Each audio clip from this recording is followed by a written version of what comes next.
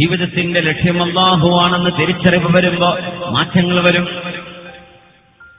ജീവിതത്തിന്റെ ഗതി നിർണയിക്കുന്നത് അള്ളാഹുവാണെന്ന് തിരിച്ചറിയുമ്പോ പ്രലോഭനങ്ങൾക്കോ പ്രകോപനങ്ങൾക്കോ അവിടെ സ്ഥാനമില്ല. ഈമാൻ കൽബിലേക്ക് കയറിയാൽ പിന്നെ അവർ അവരുടെ കൺമുമ്പിലുള്ളത്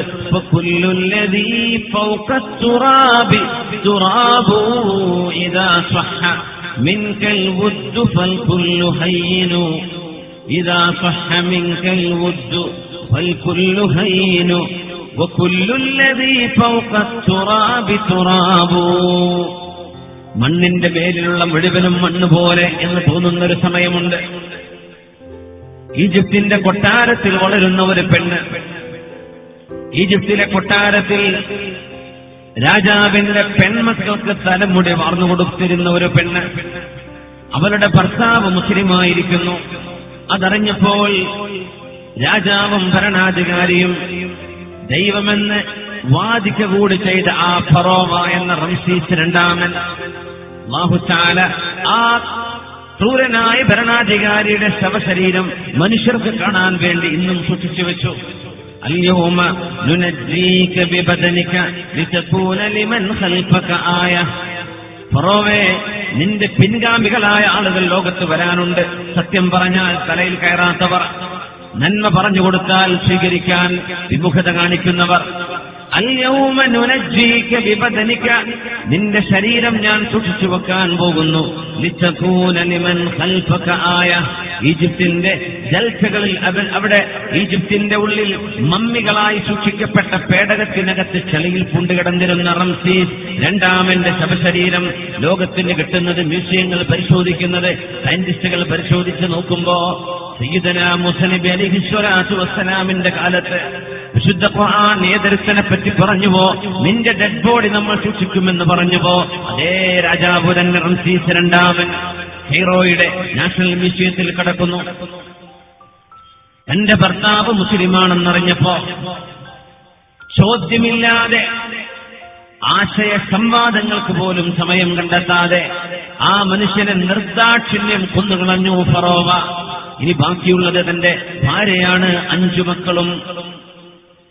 ശുദ്ധ നിബിതങ്ങൾ മ്യാറാജിന് പോയപ്പോൾ നാം ഈ പറയാൻ പോകുന്ന പുണ്യരായ മഹദി അള്ളാഹുവിന്റെ റസൂൽ കണ്ടിട്ടുണ്ട് സൊല്ലാഹു അലൈഹി വസല്ലമ തങ്ങൾക്ക് കാണിക്കപ്പെട്ടിട്ടുണ്ട്. അഷ്റഫുൽ ഖൽഖ് സൊല്ലാഹു അലൈഹി വസല്ലമ തങ്ങൾ അവരുടെ കഥ പറഞ്ഞിട്ടുണ്ട്.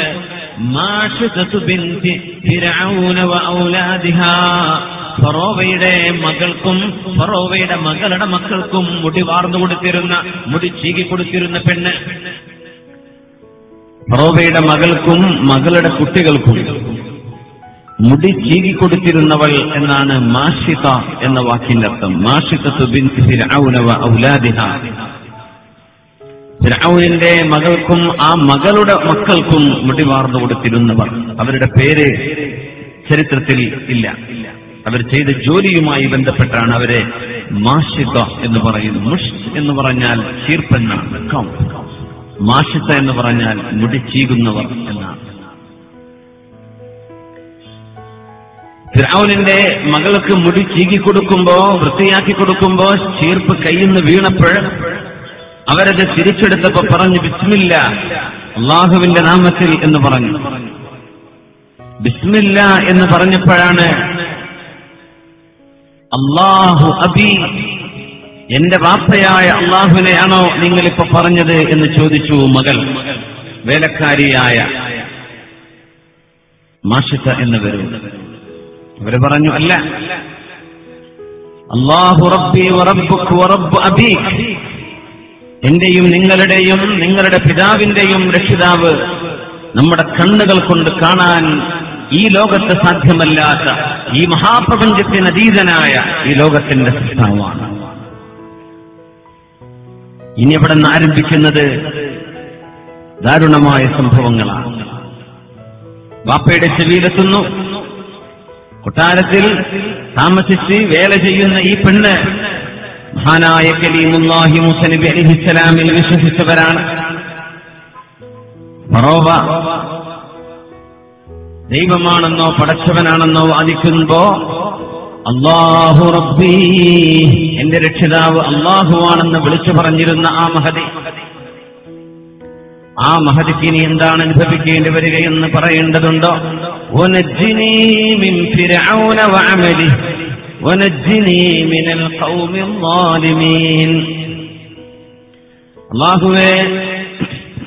ഫിർഔനിന്റെ ചേഷ്ടയിൽ നിന്ന് ഫിറാവുനിന്റെ അതിക്രമങ്ങളിൽ നിന്ന് എനിക്ക് സമാധാനം തരണേ എന്ന്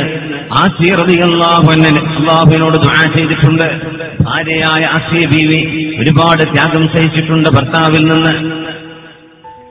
മാഷിത്ത ബീവിക്ക് അഞ്ചു മക്കളാണ്. മുതിർന്ന മോനെ മുമ്പോട്ട് കൊണ്ടുവന്ന് മാഷിത്ത ബീവിയുടെ മുമ്പിൽ വെച്ച് ചോദിച്ചു മാഷിത്ത ഞാനാണ് പടച്ചവനെന്ന് നിങ്ങൾ പറഞ്ഞില്ലെങ്കിൽ മൂസ നബി കൊണ്ടുവന്ന ഈ നിസാരത്തെ നിങ്ങൾ നിഷേധിച്ചിട്ടില്ലെങ്കിൽ നിങ്ങളുടെ മക്കളെ അതിനുശേഷം നിങ്ങളെ ഒന്നൊന്നായി തിളച്ച വെള്ളത്തിലേക്ക് ഞാൻ വലിച്ചെറിയാൻ പോകുന്നു. ബീബി പറഞ്ഞു അല്ലാഹു റബ്ബി എന്റെ രക്ഷിതാവ് അല്ലാഹുവാണ് ഞാൻ ഒരിക്കലും പിന്മാറുകയില്ല. തന്റെ പ്രിയപ്പെട്ട മകനെ പന്ത്രണ്ട് വയസ്സുള്ള മകനെ വലിച്ചു കൊണ്ടുവന്ന് ഉമ്മയുടെ തന്റെ അനുജന്മാരുടെ കൈപിടിച്ചു നിൽക്കുന്ന ആ പൊന്നുമോനെ വലിച്ചു കൊണ്ടുവന്ന് തിളച്ച വെള്ളത്തിലേക്ക് വലിച്ചെറിയുന്നത് മാഷി തറുതിയല്ലാഹുവിനെ കണ്ണുകൊണ്ട് കണ്ടിട്ടുണ്ട്. ആ കുഞ്ഞിന്റെ നിലവിളി ആ കുഞ്ഞ് നിലവിളിക്കുന്നത് ശ്വാസം നിരച്ച് തിളച്ച വെള്ളത്തിൽ എല്ലും മാംസകഷ്ണങ്ങളുമായ ആ കുഞ്ഞിന്റെ ശരീരം പൊങ്ങി വരുന്നത്. ഫറോവ ചോദിച്ചു മാഷിച്ച നിങ്ങൾ പിന്മാറിയില്ലെങ്കിൽ നിങ്ങളുടെ രണ്ടാമത്തെ മകനെ മൂന്നാമത്തെ കുഞ്ഞിനെ നാല് അഞ്ച് പിന്നെ നിങ്ങളെ. വേണോ ഇത്? കുഞ്ഞ് വേണോ? നിനക്ക് നിന്റെ വിശ്വാസം വേണോ? മാഷിത്തറുതി അള്ളാഹുന്നെ പറഞ്ഞു എനിക്ക് പ്രശ്നമല്ല. അള്ളാഹു റബ്ബീ എന്റെ അഭയം എന്റെ റബ്ബിലേക്കാണ് അള്ളാഹുവിലേക്കാണ് സ്വന്തം ജ്യേഷ്ഠൻ വെന്ത് വലിക്കുന്നത് കണ്ണുകൊണ്ട് കണ്ട അനുജനെ കൈകൊണ്ട് പിടിച്ചു വലിച്ച് ഫറോവയുടെ കിങ്കരന്മാർ തിളച്ചുമറിയുന്ന വെള്ളത്തിലേക്ക് വലിച്ചെറിയുന്നത് ഒരു ഉമ്മ നോക്കിക്കാണുന്ന സഹോദര സഹോദരി. നമുക്കത് ചിന്തിക്കാൻ കഴിയോ? ആലോചിക്കാൻ കഴിയുന്നുണ്ടോ? രണ്ടാമത്തെ മകനും ഉമ്മ എന്ന് വിളിച്ച് നിലവിളിച്ച് കരഞ്ഞു. വാപ്പ മരിച്ചത് ഷഹീദായിട്ടാണ്. ഫറോവ കുന്നുകളഞ്ഞതാണ്. സിനിമായതിന്റെ പേരിൽ രണ്ടാമത്തെ മോനും ആ തിളച്ച വെള്ളത്തിൽ എല്ലുകളായി പൊങ്ങി വന്നപ്പോ ബീവിയോട് ചോദിച്ചു മാഷിത മനസ്സിന് മാറ്റമുണ്ടോ? ഇല്ല മാറ്റമില്ല മാറ്റമില്ല. ഞാൻ മുവഹിദത്താണ്. സൗഹീദിൽ അടിയുറച്ചു നിൽക്കുന്നു. ഞാൻ പിന്മാറാൻ ഒരുക്കമല്ല. മൂന്നാമത്തെ കുഞ്ഞിനെ കുഞ്ഞുമോളെ പിടിച്ചുകൊണ്ടുവന്ന ഉമ്മയുടെ കൈവിടാതെ നിന്ന് കുഞ്ഞ് തേകി കരഞ്ഞപ്പോഴും ആ കരച്ചിലൊന്നും നോക്കാതെ ഒരു കുഞ്ഞിനോട് കാണിക്കുന്ന കരുണയോ വാത്സല്യമോ തോന്നാതെ ആ പൊന്നുമോളെ തന്റെ രണ്ട് ജേഷ്ഠന്മാര് മരിച്ചുപോയതിന്റെ പിറകെ അവരുടെ പിന്നാലെ അതേ വെള്ളത്തിലേക്ക് വലിച്ചെറിഞ്ഞു മൂന്നാമത്തെ കുഞ്ഞിനെ. നാലാമത്തെ പിഞ്ചു പൈതലിന് രണ്ട് വയസ്സുള്ള മോനെ ആ വെള്ളത്തിലേക്ക് വലിച്ചെറിഞ്ഞപ്പോഴും മാഷിന്റെ ബീവി പറഞ്ഞു അള്ളാഹു റബ്ബീ എന്റെ രക്ഷിതാവായ അള്ളാഹുവിനെ വിട്ട് ഞാൻ ഒന്നും പറയില്ല. അവനാണ് എന്റെ രക്ഷിതാവ്. അതിന്റെ പകരം കൊടുക്കേണ്ടി വരുന്നത് എന്റെ മക്കളോ ഞാനോ ആയെങ്കിൽ തന്നെയും. പിന്നെ ഒരു കൈക്കുഞ്ഞാണ് ബാക്കിയുള്ളത്. ഉമ്മയുടെ അമ്മിഞ്ഞ പാൽ കുടിച്ചിരുന്ന ഒരു വയസ്സിൽ താഴെ പ്രായമുള്ള കുഞ്ഞ് ആ ബീവിയുടെ അഞ്ചാമത്തെ കുഞ്ഞിനെ അവസാനത്തെ കുഞ്ഞിനെ പിടിച്ചു വലിക്കുമ്പോൾ മാഷി സർദിയല്ലാഹു ഒരു ഉമ്മയല്ലേ? ഒരു പെണ്ണല്ലേ? ഒരു സഹോദരിയല്ലേ? പിഞ്ചുമക്കളിൽ നാലു പേർ കൺമുമ്പിൽ വെന്ത് മരിക്കുന്നത് കണ്ട ഉമ്മയാണത്. അഞ്ചാമത്തെ കുഞ്ഞിനെ കുരുതി കൊടുക്കണോ? ഒരൽപ്പം പിന്മാറണോ? മുസനബിയിൽ അവിശ്വസിച്ചു എന്ന് പറയണോ? ഫറോവയാണ് ദൈവമെന്ന് പറയണോ? എന്റെ വിശ്വാസം അടിയറ വെക്കണോ എന്ന് ഒരൽപ്പം ശങ്കിച്ചു നിൽക്കുമ്പോഴാണ് യാ ഉമ്മ ഉമ്മാ അഞ്ച് അനൽ ഹഖ്. നിങ്ങൾ സന്മാർഗത്തിലാണ് ഉമ്മ. നിങ്ങൾ പേടിക്കണ്ട എന്ന് സംസാര പ്രായമെത്തുന്നതിന്റെ മുമ്പേ സംസാരിച്ച മക്കളിൽ ഈ കുഞ്ഞുമുണ്ട്. ഉമ്മയോട് ആ വാക്ക് പറഞ്ഞപ്പോഴാണ് പ്രിയപ്പെട്ട കുഞ്ഞിനെ തന്റെ നെഞ്ചോട് ചേർത്ത് വെച്ച് അമ്മിഞ്ഞപ്പാൽ കുടിച്ച് മതി വരാതെ വന്ന ആ കുഞ്ഞിനെ വലിച്ച് പറിച്ചെടുത്ത് ആ വെള്ളത്തിലേക്ക് വലിച്ചെറിയുന്നത്. പിഞ്ചു പൈതലല്ലേ തേങ്ങാൻ പോലും അറിയാത്ത കരയാൻ പോലും അറിയാത്ത പിഞ്ചു പൈതലും പെടഞ്ഞു മരിക്കുന്നു. ചുടുവെള്ളത്തിൽ പറോവയുടെ കൊട്ടാരത്തിന്റെ മുമ്പിൽ. സത്യവിശ്വാസി അള്ളാഹു അനിസ് പറഞ്ഞതുപോലെ ജീവിക്കാൻ നമുക്കെന്താണ് ഇന്ന് പ്രയാസം? നമ്മുടെ ഈമാനിന് വല്ല പ്രയാസവുമുണ്ടോ? അള്ളാഹുൽ വിശ്വസിച്ച് ജീവിക്കാൻ നമ്മുടെ ചുറ്റുപാടുകളിൽ വല്ല പരീക്ഷണവുമുണ്ടോ? എന്നിട്ട് പോലും ഇസ്ലാമിന്റെ വിശ്വാസങ്ങൾ ഉൾക്കൊള്ളാനോ അത് ജീവിതത്തിന്റെ ഭാഗമാക്കാനോ വെമ്പൽ. അതിന് വിമുഖത കാട്ടുന്ന സഹോദരിമാരോട് സഹോദരന്മാരോട് മാഷിത്ത ബീവൃതി അള്ളാഹുന്ന ഒരായിരം ചോദ്യമാണ് ഉതിർക്കുന്നത്. യാ ഉമ്മാ ഉമ്മ നിങ്ങൾ സത്യത്തിലാണ് ഉമ്മ നിങ്ങൾ പേടിക്കണ്ട. ചാടിക്കോളൂ വെള്ളത്തിലേക്കെന്ന് ഉമ്മയോട് പറഞ്ഞ കുഞ്ഞാണത്. ആ കുഞ്ഞും വലിച്ചെറിയപ്പെട്ടു കഴിഞ്ഞു. മാഷത്തെ ബീവിയോട് അവസാനത്തെ ഒരു ചോദ്യം ചോദിച്ചു. മാഷത്തെ ബീവിയെ പ്രകോപിപ്പിച്ചിരുന്നത് പ്രലോഭിപ്പിച്ചത്. മക്കളുടെ പേര് പറഞ്ഞാൽ ഉമ്മമാർക്ക് വിഷമം വരും. നിങ്ങളെ കൊല്ലുമെന്നല്ല മക്കളെ കൊല്ലുമെന്ന് പറയുമ്പോ എന്നാൽ വേണ്ട ഞാൻ സമ്മതിച്ചോളാമെന്ന് പറഞ്ഞേക്കും. എന്നിട്ട് പോലും സമ്മതിക്കാതെ ആ പ്രിയപ്പെട്ട മഹതി അള്ളാഹു ആ തിളച്ചുമറിയുന്ന വെള്ളത്തിൽ തന്റെ അഞ്ചു മക്കളുടെ എല്ലുകൾ പൊങ്ങി വന്നിട്ടുണ്ട്. മാംസം പൊങ്ങി വന്ന് കിടക്കുകയാണ്. വെള്ളത്തിന്റെ മുകളിൽ പൊങ്ങിക്കിടക്കുന്നു. ഫറോവയോട് പറഞ്ഞു ഫറോവ എനിക്കൊരപേക്ഷയുണ്ട്. എന്താ നിന്റെ ആവശ്യം? ഒന്നുമല്ല ഞാനും ഈ വെള്ളത്തിലേക്ക് എടുത്തു ചാടിയാൽ എന്റെയും എന്റെ മക്കളുടെയും എല്ലുകൾ ഒരുമിച്ചെടുത്ത് ഒരു ഖബറിൽ മറവ് ചെയ്യണേ എന്ന ഒരപേക്ഷയുണ്ട്. ആ വാക്ക് പറഞ്ഞ് ബിസ്മില്ലാഹി അള്ളാഹുവേ നിന്റെ നാമത്തിൽ എന്ന് പറഞ്ഞ് ആ ചുടുവള്ളത്തിലേക്ക് വലിച്ചെറിയപ്പെട്ട മഹതിയാണ് ഫറോവയുടെ വീട്ടിലെ വേലക്കാരിയായിരുന്ന നബി അലൈഹി തങ്ങൾ അവരെ സംബന്ധിച്ച് പറഞ്ഞു മേറാജ് പോയ രാത്രിയിൽ ലൈലത്തൽ ഇസ്രാ ഇസ്റാഇന്റെ രാത്രിയിൽ മുത്തുനബിക്ക് അള്ളാഹു കാണിച്ചു കൊടുക്കുകയാണ് നബിയെ. അള്ളാഹുവിന് വേണ്ടി ത്യാഗം സഹിച്ചൊരു മഹതയുണ്ട്. ഇമാം ബൈഹക്ക് തങ്ങൾ ഉദ്ധരിച്ച ഹദീസാണത്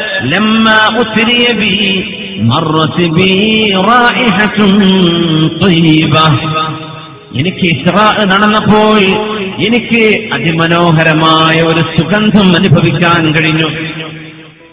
മനോഹരമായ ഒരു ഗന്ധം. സ്വർഗം തന്നെ സുഗന്ധമല്ലോ.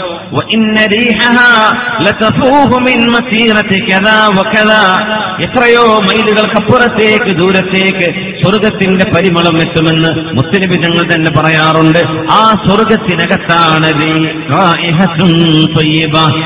മനോഹരമായൊരു ഗന്ധം എന്തോ ഒരു രസമുള്ള ഒരു മണം നല്ല രസമുള്ള ഒരു സുഗന്ധം അനുഭവിച്ചപ്പോ നബി ഞങ്ങൾ ചോദിച്ചു? എന്താണ് ഞാൻ അനുഭവിക്കുന്ന ഈ സുഗന്ധം എന്ന് പറഞ്ഞപ്പോ അള്ളാഹുവിന്റെ മാലാഖമാർ എന്നോട് പറഞ്ഞു ഹാദിഹി വ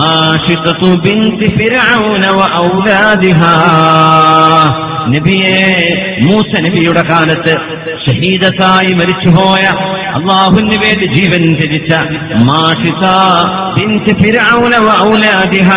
ഫറോവയുടെ മകൾക്കും ആ മകളുടെ മക്കൾക്കും മുടി ചീകി കൊടുത്തിരുന്ന ആ വീട്ടിലെ വേലക്കാരിയായിരുന്ന മാഷിത്ത ബീവിയാണ് നബിയെ. അത് ആ ബീവിയുടെ ഗന്ധമാണെന്നറിയുന്നത്. ഏതാണ് ആ ഗന്ധം? തന്റെ പിഞ്ചു മക്കളുടെ ചോരയിൽ പിറന്ന മക്കളുടെ വെന്തുരുകുന്ന മാംസത്തിന്റെ ഗന്ധം അനുഭവിച്ച ഉമ്മയാണത്.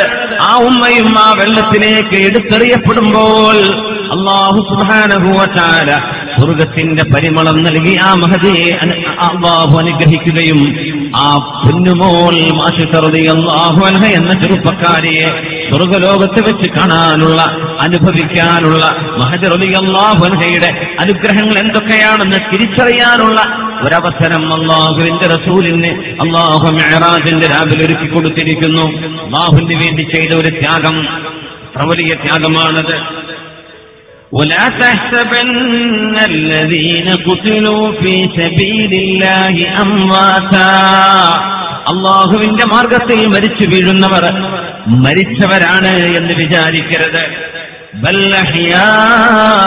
അവർ ജീവിച്ചിരിക്കുന്നവരാണ് عند ربهم يرزقون. അവർക്ക് അള്ളാഹു ഭക്ഷണം നൽകുന്നുണ്ട് فرحين بما آتاهم الله من فضله അള്ളാഹു നൽകിയ അനുഗ്രഹങ്ങൾ കണ്ട് സന്തോഷിക്കുന്നവരാണവർ ويستبشرون بالذين لم يلحقوا بهم من خلفهم തങ്ങളുടെ കൂടെ ഇതുവരെ എത്തിച്ചേരാൻ പറ്റാത്ത ആളുകളോട് അവർ പറയുന്നുണ്ട്